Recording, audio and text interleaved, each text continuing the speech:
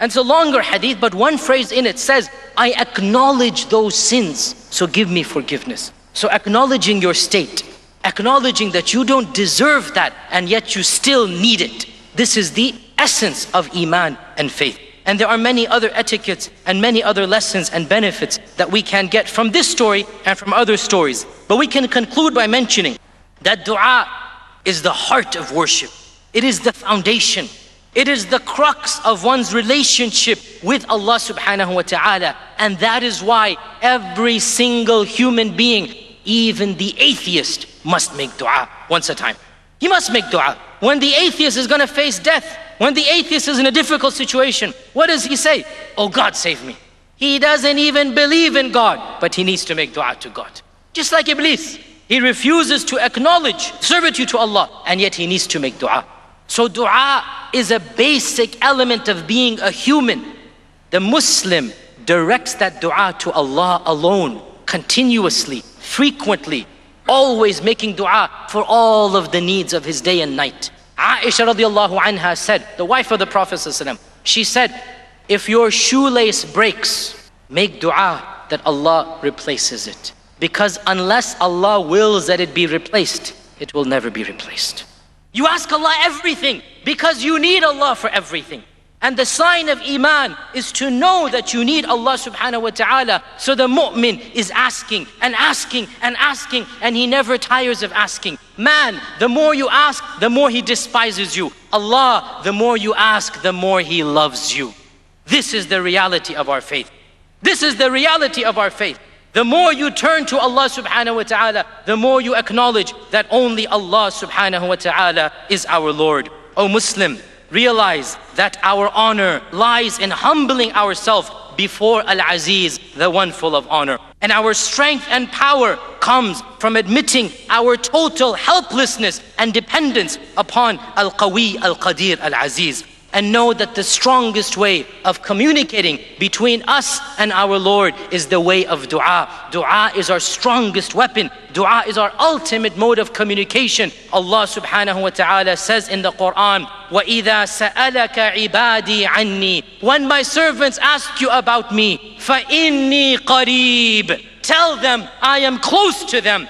أُجِيبُ دَعْوَةَ الدَّاعِ إِذَا دَعَانِ I am the one who responds to the dua of anyone who does dua when he makes dua. Look at the emphasis. Ujibu da'wata da'i idha da'an. Three times. I am the one that responds to the dua of the one who makes dua when he makes dua.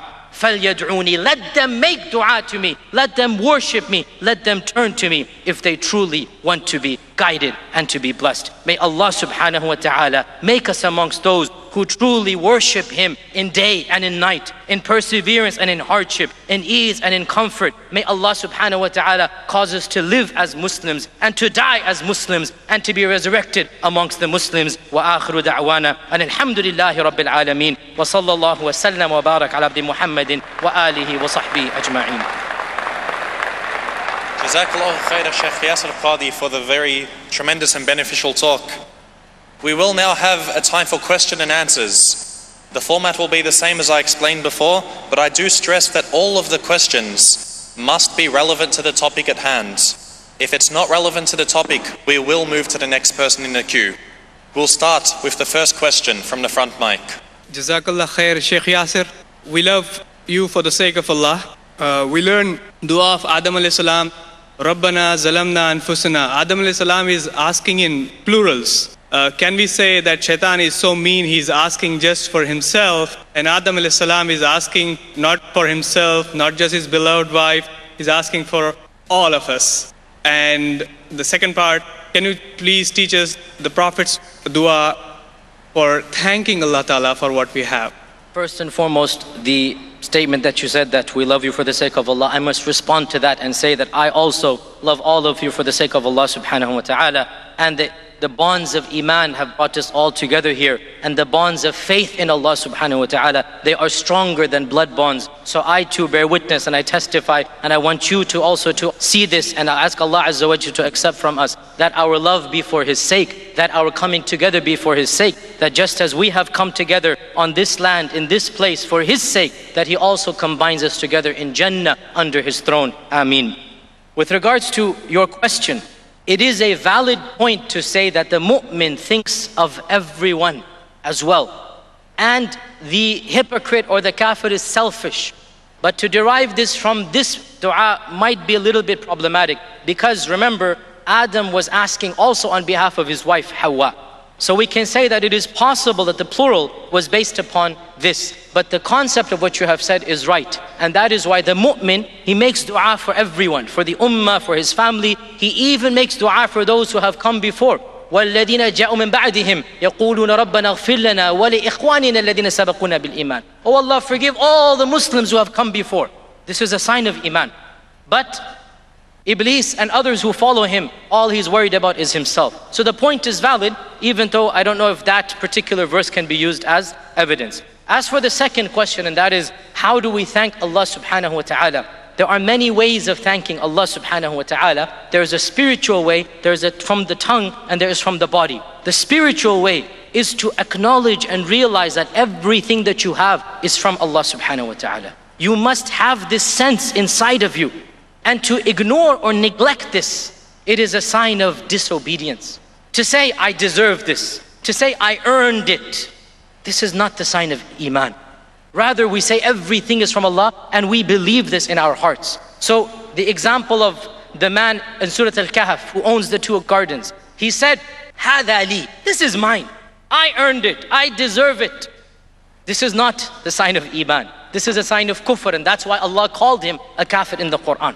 So this is spiritual acknowledgement. From the tongue, we thank Allah subhanahu wa ta'ala. And that is why his brother who was arguing with him, he said, why don't you say, Masha Allah la quwwata illa billah when you enter the garden? Why don't you ascribe the blessing to Allah and not to yourself? And also to say, Alhamdulillah, this is how we thank Allah. And the third way we said is from the body. And the body, how we thank Allah is by using this blessing to come closer to Him and not by using the blessing to become a barrier between Him. Allah blessed us with money. We use money to come closer to Him. We don't use money to become engrossed in this world and forget about Allah. Allah blessed us with wife, with children. We use those blessings to thank Allah, come closer to Him. We don't become involved with them to forget about Allah. So we thank Allah from our hearts. We thank Allah from our tongue. And we thank Allah Azza wa Jal from our limbs. The next question from the rear mic. Assalamu alaikum. My name is Arif and I'm a chartered accountant. Uh, at times, we are confused as to what we want uh, when we are asking Allah. We don't know what is right for akhirah. I am aware that as istikhara we have to do. I am just after the right way of doing it, of performing it, as to how long do we take before making a decision and how do we make a decision. I had another question. I'm just wondering, is it necessary to raise your hands before asking anything from Allah? Or can you ask something while you're traveling or while you're about to go to sleep or you're just sitting, etc.? Okay, uh, the first question is about the content of what you ask to Allah. What if you don't know if it's good for you? Realize that when you ask Allah for something of the next world, then you know that it is good for you. You want Jannah. There is no way Jannah is not good for you, right? You want to be saved from the fire of hell. That is definitely good for you. You want forgiveness. This is something you need. So anything to do with spiritual matters, with the hereafter, with Allah's mercy, then you know that you need it.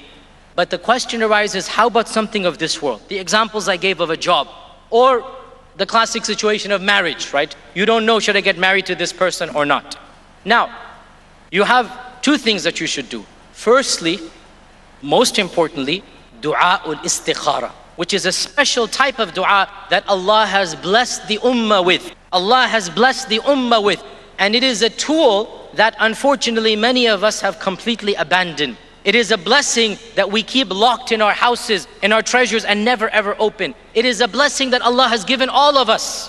But many of us don't utilize it. Dua ul istikhara is a dua that you make, that you pray to Allah when you are faced with a worldly decision. You don't pray istikhara for Jannah or Nar, you want Jannah, okay?